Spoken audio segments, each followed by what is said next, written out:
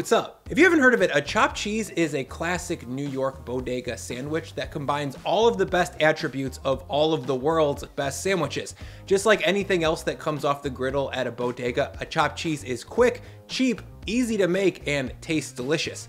Today, I'm gonna show you how to make one. To get started, we'll need some beef. Specifically, I've got some 90-10 ground beef here. For burgers, I tend to lean towards a lean to fat ratio that's closer to 80-20, but when I was developing this recipe, the 80-20 ground beef was just straight up greasy. Add in the fact that this chopped cheese sandwich is gonna have four total slices of cheese on it, plus mayo, and all of a sudden 90-10 has more than enough fat going on. For one sandwich, I'll portion out 8 ounces of this 90-10 ground beef, or roughly 225 grams worth. Next, to get the beef ready for the pan, I'll work it with my hands a little bit to get the myosin protein inside linked up so the beef is just a little bit stickier. That's gonna allow me to shape this meat into something that's roughly approximate to a burger patty. A quick slap back and forth now to spread it out, and there we go. This flatter patty shape is going to take on a much better, crustier sear than just loose, crumbly ground beef would. Next, I'll scoot this beef off to the side while I get everything else prepped up. That means preheating my oven to 400F, then grabbing a heavy bottom saute pan and dropping that on the stove to preheat. I'm using a 12 inch cast iron here because that's the closest thing that I have to a restaurant griddle, but anything that can take high heat will work. While that gets hot, let's take a look at the garnishes and condiments that we need to have ready for the sandwich. On the tray here, I've got some shredded iceberg lettuce, this. For me, the finer the shred, the better, and make sure yours is nice and cold so that it can bring a crunchy, icy contrast to this hot, beefy sandwich. For one chopped cheese, we'll need about a cup's worth of shredded iceberg. Next, we need some juicy, but probably out of season slicing tomatoes. Look, the bodega version isn't rockin' farmer's market tomatoes, you guys, and that version is amazing. Of course, if you have a nice tomato on hand, put it to use, but in general, the tomatoes on the sandwich just need to bring a little bit of moisture and just a touch of acidity. So commodity slicers that aren't super ripe are more than good enough.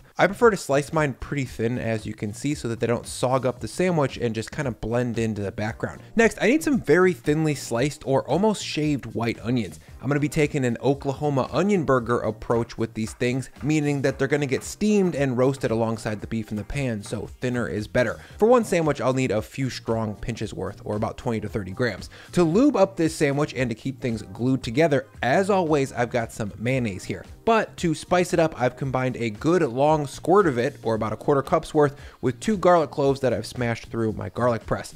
I'll stir that in, and now we've got a mayo for this sandwich that brings a little bit more vibe than just plain white straight out the bottle. The raw garlic in there really stands out and brings a piquant, aromatic heat that harmonizes with the melty, cheesy meat in a profound way. Don't skip it, you guys. Now, that's all the prep. The rest is just gathering stuff. Next, we're gonna need some Montreal steak seasoning set aside. Most bodegas or other restaurants that cook a lot of their food on a flat top, like Mexican restaurants, usually have something similar to this nearby to shake on all of the stuff that hits the griddle. If it's not steak seasoning, it's Lawry seasoning salt or some variation. And in general, not just for this sandwich, I highly recommend keeping some salty meat shake nearby. Next, to double down on the deli sub inspiration here, I've got some pepper pepperoncini rings. That's not classic bodega as far as I know, but Bry loves his chinis and their spicy brininess makes this sandwich really special. For the cheese part of this chopped cheese, I've got two slices of two types of cheese. The first is the classic gooey processed American cheese. I like that because it kind of makes a sauce for the sandwich as it melts, and I really wouldn't recommend switching this out for a fancy, quote, real cheese. The second cheese is a mild, thinly sliced provolone cheese. This brings a little bit more flavor than American cheese and a nice bit of aesthetically pleasing cheese pull. Sub in Munster or Swiss if you want a little bit more funk. For for the bread, there are two classic options. The first is a hoagie or hero roll, and the second is a classic crusty Kaiser roll. Texturally, both breads are pretty similar, but the Kaiser is a touch sweeter and softer, and of course eats more like a traditional burger bun, and that's not what I'm here for. For me, the core joy of this sandwich is the weirdness that ensues when you build something cheeseburger like on a submarine sandwich vehicle. The crusty hoagie gives you an entirely different textural experience than a burger bun, and it's surprisingly delightful. If you guys want to make your own hoagies from scratch, I'll link to a few videos in the description below that show you how to do just that. To get this hoagie ready for the chopped cheese filling, I'll cut it in half, leaving one side still attached. Then I'll just pull a little bit of the interior bread out of each side so that I can make room for all 8 ounces of my cheesy meat and the shreddis and tomato and all of the condiments. Without this loss of the middle, you'll get tearing and the sandwich will be too stuffed and fall apart. Next, I want to mention that I'm not doing this step just yet, but when it's go time, I'm going to be reheating this hoagie in my 400F oven to get it crisped back up. Untoasted bread here leads to a chewy, soft Jimmy John's like experience, and for me, you might as well eat it on a burger bun at that point. Once I've got all my mise en place sorted out here, I'm gonna make sure to turn my hood vent on because anytime you're cooking something that's close to a hamburger inside, it's gonna get smoky. Now, once my cast iron pan is nice and ripping hot over high heat, I'm gonna add in a good long squeezer of high smoke point oil. And then once that's hot, in goes my not a burger patty. Right away, I'll jump into the pan and give this burger a smush to make sure as much of the surface area is touching the hot pan as possible. I'm not really trying to give it a smash per se. There's no need to spread this out like you would for a smash burger, but giving it some downward force rewards you with a very crusty, well-browned bottom side. By the way, I love this sturdy stainless steel spatula for this task. This is exactly what they would use at a bodega or just a griddle style restaurant to smush meat and cook it more evenly and get more caramelization. This was like 8 bucks online and I highly recommend it. Once the patty is in full contact with the pan, I'll come back and give the backside a generous pinch of my Montreal steak seasoning and then I'll lay down a heavy dose of the shaved onions that we made before.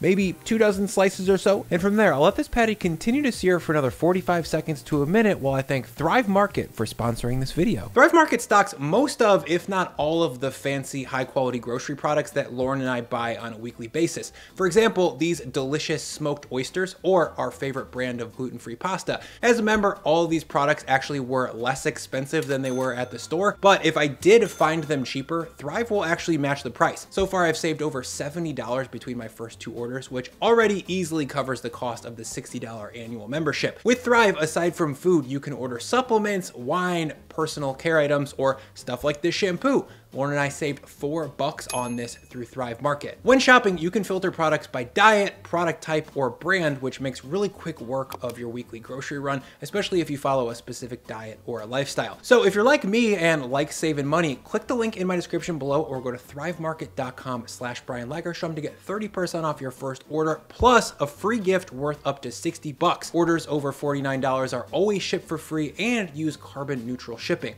Thank you, Thrive Market. After about a minute, I'll come back and check the bottom side to see how my sear's looking. That's deeply golden brown and getting crusty, so I'll flip over the patty onto the onions, and they're gonna get all roasty and caramelized under there while we finish cooking this beef. Now, for the chopped part of this entire chopped cheese, using my sturdy metal spatula, I'm gonna come back and basically slice this patty thinly a bunch of times. I wanna break this down into something that resembles ground beef again, so I'm gonna use this spatula to cut every quarter inch or so until it's all chopped up. This is going to give us that loose meat texture that we're looking for, and when you combine that with melty cheese, it's going to make something that's really delicious, weird, and pretty unique. Once this meat is well broken down, I'll hit it with another strong dose of steak seasoning, or Lawry's if that's your truth, and from there I'll give the meat another minute or so to take on even more dark crusty color. After two and a half minutes of searing and chopping, the meat and the onions inside of it are looking well browned and cooked through, so I'll gather it all up into a pile and then drop on two slices of American cheese.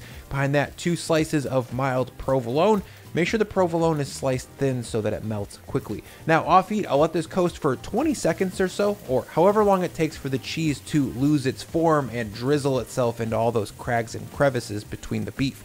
Now I'll carefully lift this to get as much of the cheesy chopped meat out of the pan as I can at one time, then I'll move it over to my lightly toasted hoagie bun.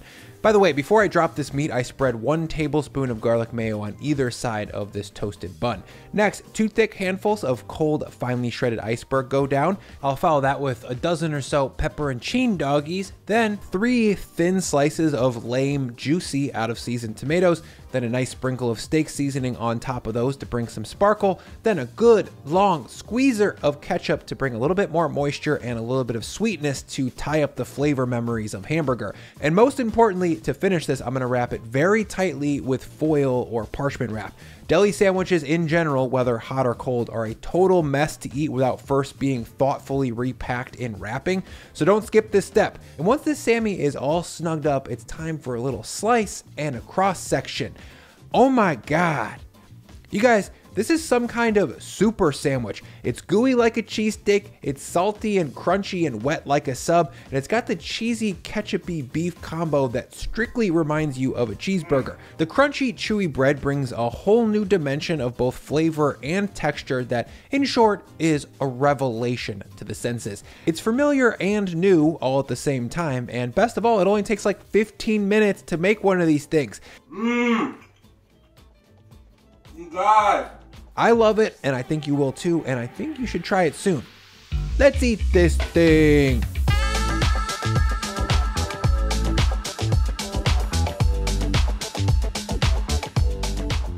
As a reminder, click the link in my description below to get 30% off your first order and a free gift when you join Thrive Market today.